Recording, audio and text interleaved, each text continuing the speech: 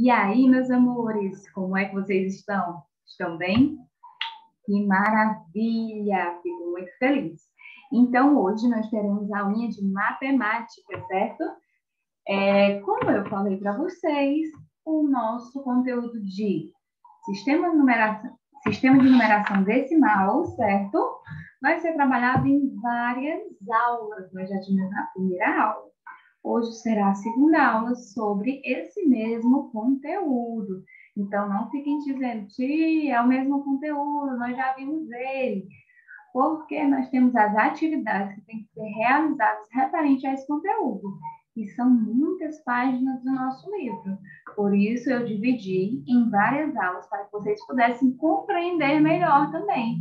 Então, isso vai ajudar vocês a, se tiverem alguma dúvida, poderem tirar na aula seguinte, na aula que está referente ao mesmo conteúdo, certo? Então, me acompanhem, vamos lá para os nossos slides e ver o que é que nós vamos aprender hoje, certo? Na aula passada, nós trabalhamos com o material dourado, que é essas barrinhas, e é esses cubinhos aqui que são as unidades e as dezenas, certo? E eu vou mostrar para vocês, novamente, no nosso, tanto no nosso slide quanto aqui, como é que nós trabalhamos com material dourado, certo? Vamos lá colocar o nosso slide. Aqui.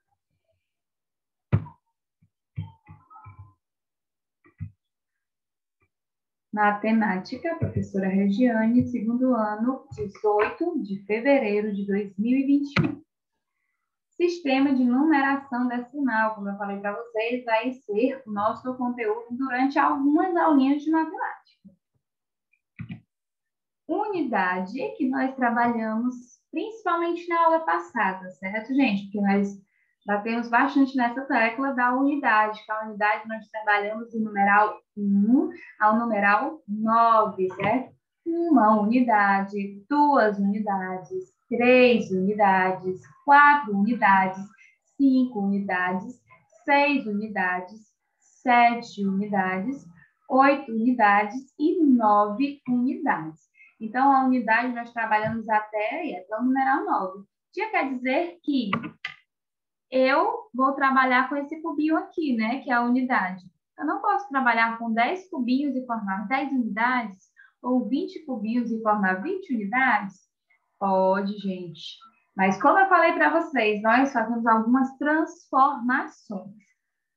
A partir do numeral 10, esses números que são fechados, 10, 20, 30, 40, 50, nós trabalhamos, nós transformamos as unidades em barrinhas, certo? Nós trabalhamos, transformamos o cubinho em barrinhas. Por quê? Porque essa barrinha aqui, gente, ela tem 10. 1, 2, 3, 4, 5, 6, 7, 8, 9, 10. Ela tem 10 cubinhos. Então, significa que aqui eu tenho 10 unidades. Para diminuir aqueles cubos soltos para nós trabalharmos melhor e manusear melhor o material dourado, nós trabalhamos o numeral 10 assim. Mas isso não significa que eu não possa trabalhar com os cubinhos das unidades no numeral 10, certo? Mas nós fazemos essa transformação para facilitar o manuseio. Olha só, será que eu estaria conseguindo mostrar 10 cubinhos para vocês aqui no nosso slide? Aqui no, na nossa câmera? Estaria conseguindo ou não? Eu acho que não, seria ruim de segurar. Mas eles, dessa forminha aqui, ó, dessa forma que eu estou segurando, que é essa coluna de cubos, ela é mais fácil de eu manusear e trabalhar com vocês, certo? Que está aqui a dezena, ó, os 10 cubinhos grudadinhos um no outro. 10 cubos, olha só, tá aqui, gente, ó, acabei de falar para vocês. Os cubos aqui estão separados, perto do cebolinho.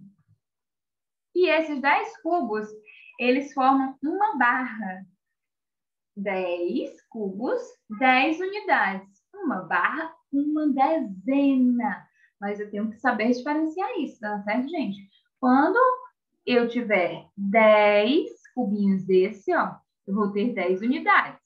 Eu não vou ter. E quando eu tiver esse aqui, ó, essa barrinha aqui, certo? Eu vou ter uma dezena.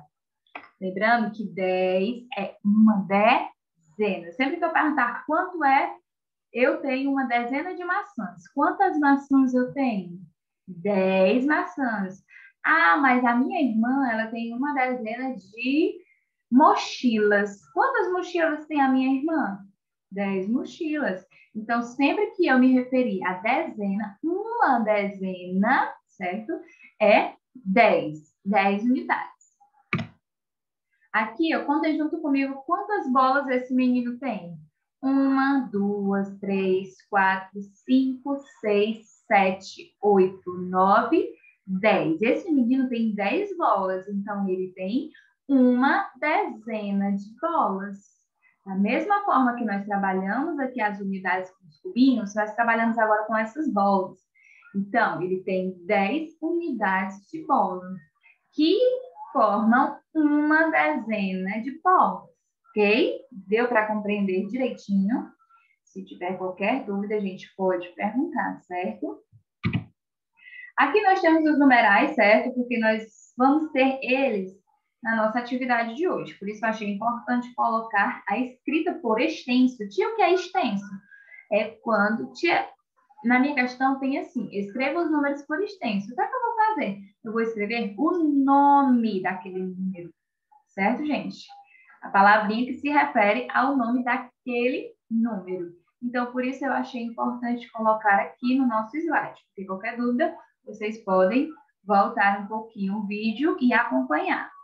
Aqui nós temos um, dois, três, quatro, cinco, seis, sete, oito, nove, dez, onze, doze, treze, 14, 15, 16, 17, 18 e 19, certo? A escrita dos nossos numerais de 1 a 19. E os nossos numerais hoje, como nós estamos trabalhando a família do numeral 10, da dezena de uma dezena, nós vamos trabalhar família dos numerais 11, 12, 13, 14, 15, 16, 17, 18 e 19. Como, tia? Com material dourado, certo, gente? Ó, 10. Eu tenho 10 e depois do 10 vem o 11. O 11 é o 10 mais 1. Então, eu tenho uma dezena e uma unidade. Aqui eu vou fazer a leitura para vocês, certo? Olha só. 12 é igual a uma dezena e duas unidades. 13 é igual a uma dezena e três unidades. 14 é igual a uma dezena e quatro unidades. O 15 é igual a uma dezena e cinco unidades. 16, uma dezena e seis unidades. 17, uma dezena e sete unidades. 18, uma dezena e oito unidades. E 19, uma dezena e nove unidades. Então, por que, que esses numerais estão referentes só a uma dezena? Porque uma dezena se refere ao 10. E esses numerais aí, eles estão referentes à família do numeral 10. Do 10 ao 19, nós trabalhamos aí. Essa é a questão da, de uma dezena, certo? Porque vocês podem observar que a dezena está referente ao numeral 10. Já a unidade está referente a o 11 é o quê? O 10 mais 1. O 12 é o 10 mais 2. O 13, 10 mais 3. 14, o 10 mais 4. Então, vocês vão observar essa unidade do 1 ao 9 que está sendo trabalhado junto com o numeral 10, que forma aí a família do numeral 10, do 10 ao 19. O 11 ao 19, desculpa. Então, vocês vão sempre observar. O 11, uma dezena e uma unidade. Tchau, 18. 18. 10 mais 8, uma dezena mais 8 unidades. O 15 é o 10 mais 5, então é uma dezena que se refere ao 10 e 5 unidades que se refere ao numeral 5. A casa das unidades. Olha só, sempre que tiver uma atividade, podemos trabalhar aqui a casa das unidades. Quem é que vai ficar no, No a unidade. Quem é que vai ficar no D? A dezena. Se eu tiver o numeral 15, eu vou colocar no D o numeral 1. E no U, o numeral 5. Como eu falei para vocês, o D é de dezena.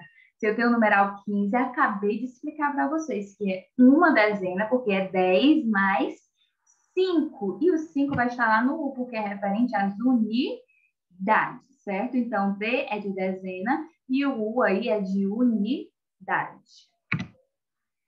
Exemplo aqui, como é que eu trabalho com material dourado, que acabei de explicar para vocês. Eu tenho uma barrinha aí, uma barrinha referente a uma dezena, 10 unidades.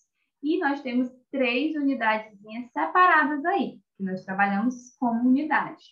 Então, nós temos 13 unidades aí, uma dezena e três unidades.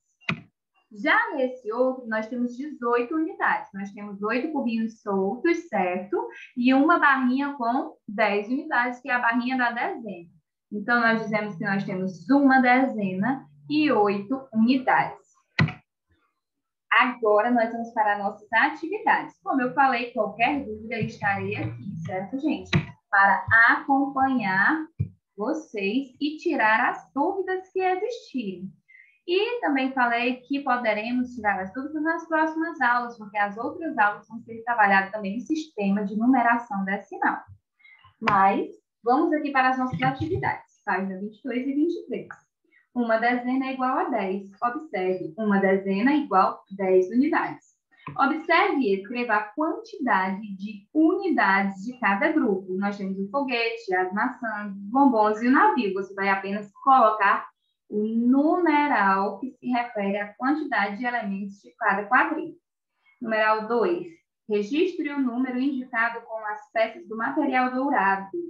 Vocês vão fazer da mesma forma que eu fiz nos últimos slides. Contar quantos cubinhos tem ao total. Terceira questão. Complete os conjuntos para formar dezenas. Se eu quero dezenas, eu quero quantas unidades? 10 unidades, isso mesmo. Então, para formar as dezenas de lua, a dezena de lápis e a dezena de estrelas. É hora de preencher o quadro do valor de lugar. Siga o exemplo. Lembra das casinhas que a tia falou, a casinha da dezena e a casinha da unidade? Pois vocês vão fazer da mesma forma aqui, certo? Tem um exemplo que vocês podem seguir.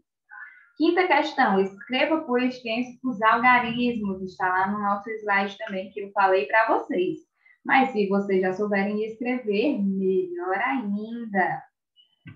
Pinte a quantidade de quadrados correspondente ao numeral 12, que é o numeral que está aqui em destaque. Você vai pintar a quantidade de quadrinhos, certo? 12 unidades de quadrinhos.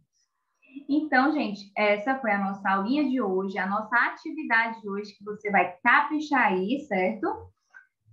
Um grande beijo, um forte abraço e até a nossa próxima aula. Tchau!